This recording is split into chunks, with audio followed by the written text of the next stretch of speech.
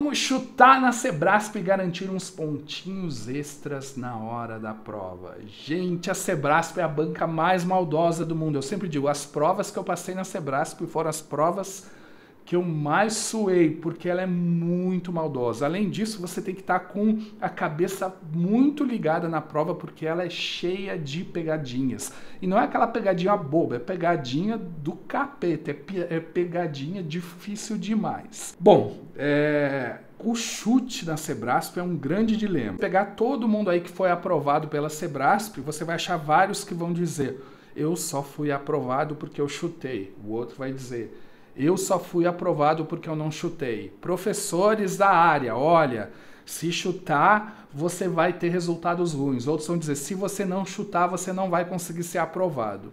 Qual é a minha opinião? Já digo aqui. Se você é um aluno avançado, eu entendo que existe uma tendência do chute te favorecer. Um aluno que tem um conhecimento. Se você não tem conhecimento, o chute provavelmente não vai te favorecer. Mas é a minha opinião. Ninguém tem certeza, não existe um método científico para comprovar isso. Mas existe uma maneira. Qual é a maneira? Você vai ter que pegar as provas anteriores da sua área, da Sebrasp, e começar a simular para ver se as técnicas de chute, eu vou passar aqui hoje duas técnicas de chute, você vai ter que ver se essas duas técnicas de chute funcionam para você. E eu tenho quase certeza, se você é um bom estudante, se você já está avançado nos estudos, vai funcionar. Mas lembra, o chute é por sua conta e risco. Não diga que eu mandei você chutar. E qual é o grande problema da Sebrasp? A Sebrasp, ela geralmente faz uma prova de 120 questões de certo e errado, então você vai ter que olhar lá, não são cinco alternativas, são certo e errado. E se você errar a questão, ela vai anular uma certa, ou seja, vamos dizer que você errou a questão 1, em vez de perder um ponto, você vai perder dois pontos daquela que você acertou. Isso são questões que exigem um raciocínio lógico, é, são questões muito complexas. Então, quem pode chutar na Sebrasp? Primeiro, quem tem um conhecimento profundo do assunto, quem tem uma capacidade de análise rápida e quem conhece as técnicas de chute, que eu já já vou mostrar para você. E agora eu vou mostrar duas técnicas de chute cego. O que, que é o chute cego? Aquele chute que você não tem ideia da alternativa, é fechar o olho e escolher um. E para saber se o chute cego funciona para você, você, simulados, provas anteriores, testa, veja se você ganhou ponto, veja se você perdeu ponto. Se nos simulados e nas provas anteriores você ganhou ponto, é muito provável que o chute cego vai te ajudar. Se você perdeu pontos, eu diria, não arrisque. Então vamos pegar o padrão Sebrasp. O padrão Sebrasp são 60 questões certas e 60 questões erradas. Aí pula um pouquinho para um lado, um pouquinho para o outro, mas basicamente é isso. E o primeiro chute cego é o seguinte: você tem ali um gabarito e você. Vou botar aqui o slide. Vamos imaginar que você tem 100 questões respondidas que você sabe a resposta. Você sabe qual, qual é a resposta dessas 100 questões. Se você não chutar, sua nota final vai ser 100.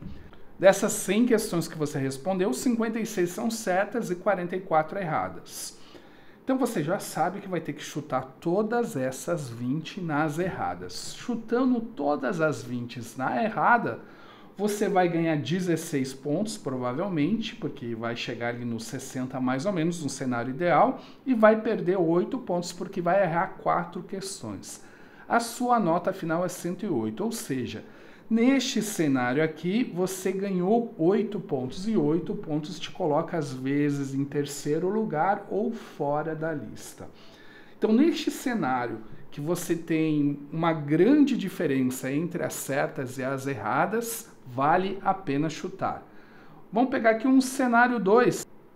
Agora vamos imaginar que você colocou dessas 100, 60 estão certas e 40 erradas. E você sabe que essas 60 certas e 40 erradas Tá certo mesmo, você tem segurança em relação a isso. Então você vai chutar todas nas erradas. No mundo ideal, você ia ganhar 20 pontos e sua nota final seria 120 pontos. Vamos ali para um cenário 3. Você tem 50 certas, 50 erradas e 20 não sabe. Neste caso aqui não tem como a gente chutar, então o risco de perder ponto é muito grande. Pelo menos o chute cego não é recomendado. O chute intuitivo talvez, mas o chute cego não. Vamos aqui. Então tenha em mente, quanto mais perto ali do meio tiver as questões, mais difícil de chutar. Quando mais o C ou o E tiver longe do meio, muito mais probabilidade de chutar você vai ter de ganhar pontos. Eu vou mostrar aqui algumas provas reais, olha só. A ANAC em 2024, antes das anulações, ela botou exatamente 60 certa e 60 errada, prova da Sebrasp.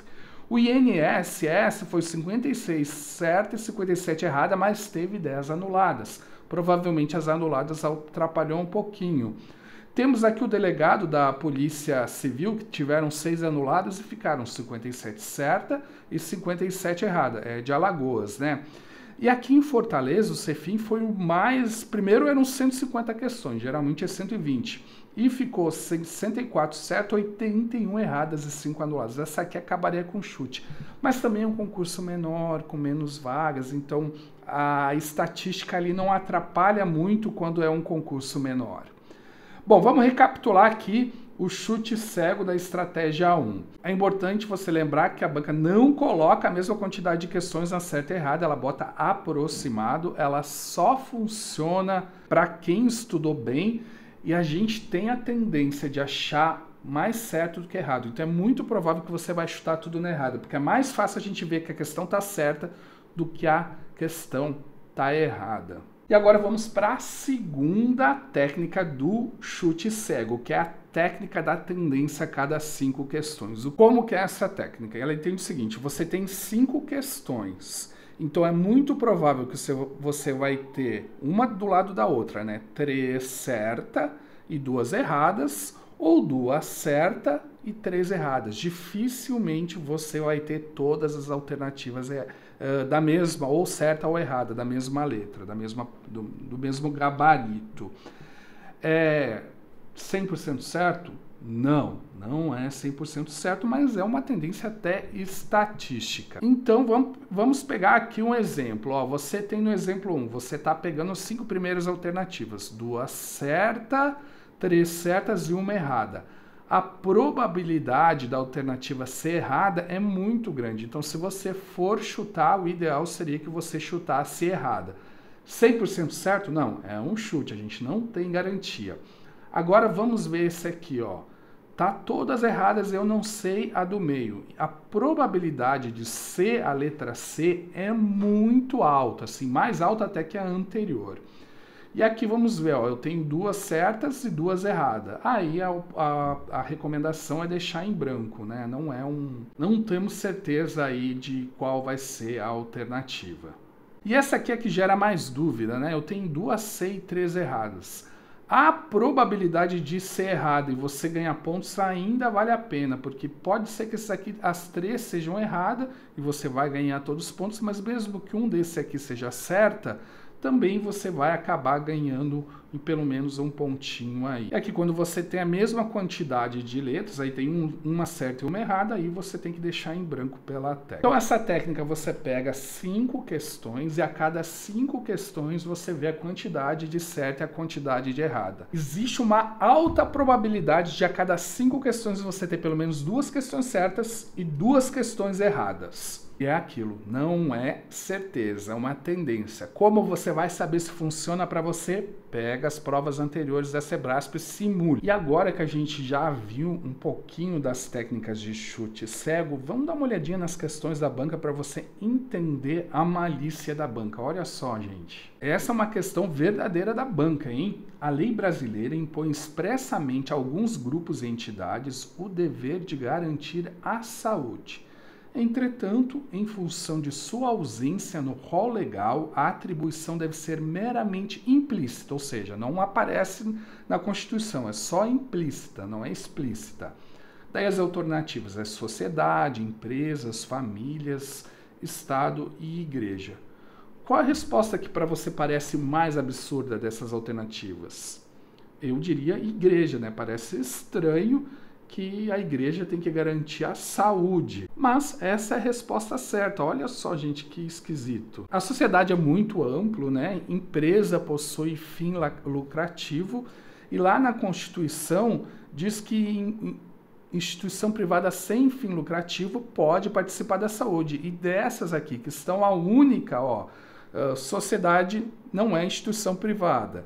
Empresa é uma instituição privada, mas tem fim lucrativo. Família não é uma instituição privada. Estado é uma instituição pública. A única instituição privada que está aqui é igreja.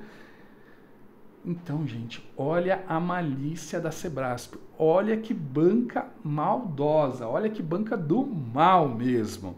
Vamos dar uma olhadinha mais aqui. A Sebrasp ela gosta muito de trabalhar exceções. Olha só essa aqui, ó é vedado ao Distrito Federal fornecer medicamentos sem registro na Agência Nacional de Vigilância Sanitária.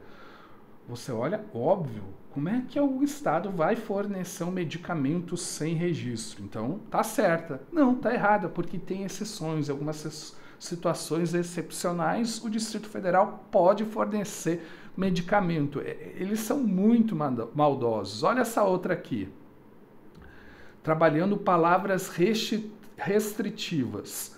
Para que possa realizar a exploração direta de atividade econômica, o Estado necessariamente deve atender aos interesses da segurança nacional ou relevante interesse coletivo. Parece certo, mas esse necessariamente limita, porque existem exceções, então a alternativa está errada. Essa aqui, todo ato legislativo que contrariar a Constituição deve ser declarado inconstitucional, certo ou errado? Pô, eu tenho uma lei que contraria a Constituição, ela deve ser declarada inconstitucional. Para mim tá certo. Só que daí eles pegam o quê?